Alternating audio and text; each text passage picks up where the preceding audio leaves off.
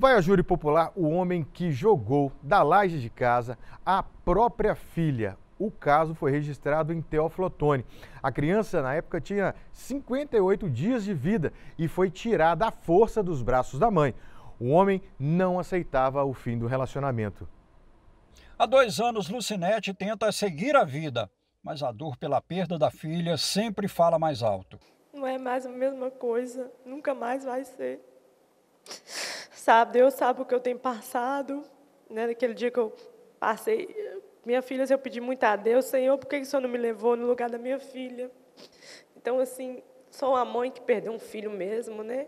Sabe, a dor de perder, ainda mais a forma traumática que eu perdi. A mulher espera justiça contra o companheiro com quem viveu cerca de um ano. Eu espero que a justiça seja feita, entendeu? Não vai trazer minha filha de volta, mas só de saber que eu vou fazer justiça por ela, entendeu? Porque minha filha não merecia ter morrido da forma que ela morreu. É um anjinho inocente. O crime aconteceu há dois anos nessa casa no alto do bairro Tabajaras. Lucinete vivia aqui após separar do companheiro que não aceitava o fim do relacionamento. De acordo com informações da família, no dia dos fatos, o réu ele tomou a criança da mãe e em seguida retornou sem ela quando eles foram verificar o que aconteceu, ele havia arremessado a bebê de 58 dias de uma altura estimada de aproximadamente 12 metros. Segundo Lucinete, o homem agiu de forma fria e calculista. Falta de amor mesmo, uma pessoa que não tem um amor pelo filho, porque acho que nenhum, nenhum, nenhum pai assim uma pessoa é, é, fazer, ela tem que ser um monstro mesmo. Eu falo assim, se ela é capaz de fazer isso com o filho, ela é capaz de fazer com qualquer pessoa. O relacionamento do casal ficou instável após anúncio da gravidez, segundo a mulher. Desde que eu engravidei, é, ele assim, ele demonstrou muito assustado, surpreso. Ele falou que não queria ter filho, que não queria ser pai, né? Então, assim, acho que ele nunca amou a criança. No primeiro tração da minha filha, ele foi comigo, ele falou que, que ia, ele foi, ele chorou né? Aí teve um dia, ele falou que chorou de alegria, só que teve um dia que a gente conversou, ele falou assim, você lembra aquela vez que eu chorei no primeiro tração? Eu não chorei de alegria, eu chorei de tristeza, aquilo me doeu. As advogadas da família de Lucinete acompanham o caso há dois anos.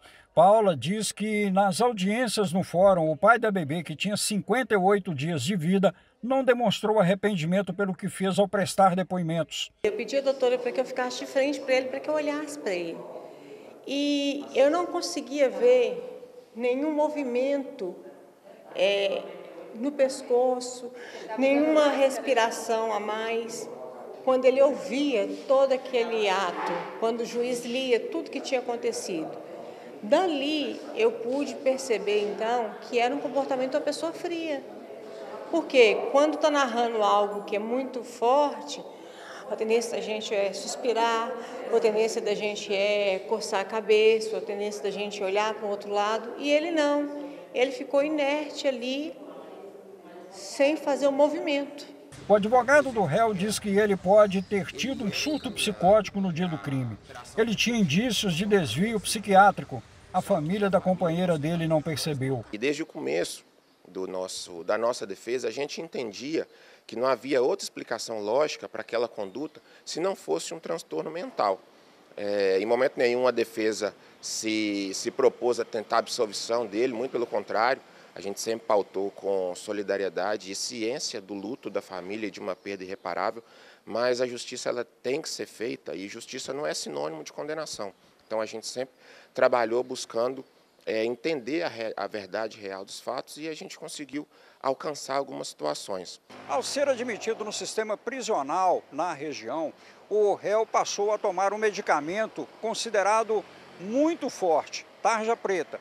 E aí a defesa entrou com um pedido de uma análise psiquiátrica dele para decidir se no dia dos fatos ele era inimputável total ou parcial. A defesa entende que se nesse período, em ambiente controlado e medicado, ele teve episódios de surto psicótico, antes desse período, e aí próximo à data, inclusive à data do fato, sem medicação e sem ambiente controlado, conturbado, como ele e a mãe da vítima narravam em relação ao relacionamento, é possível sim que ele tenha agido com surto psicótico. Então, com base no artigo 144 do Código de 149, perdão, do Código de Processo Penal, a defesa solicitou incidente de insanidade mental.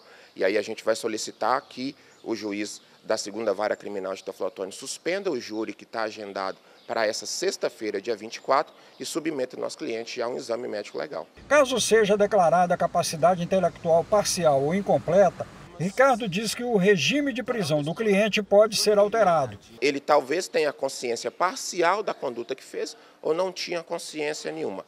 Em não tendo consciência, ele é considerado inimputável e ele é remetido para tratamento pelo Estado. Ele não vai ficar preso, mas vai ficar recluso no ambiente de tratamento, fazendo uma alegoria rápida para que todo mundo consiga entender. O mesmo caso do Adélio Bispo, que tentou matar o ex-presidente Bolsonaro. Ele sai do presídio e vai para um tratamento controlado.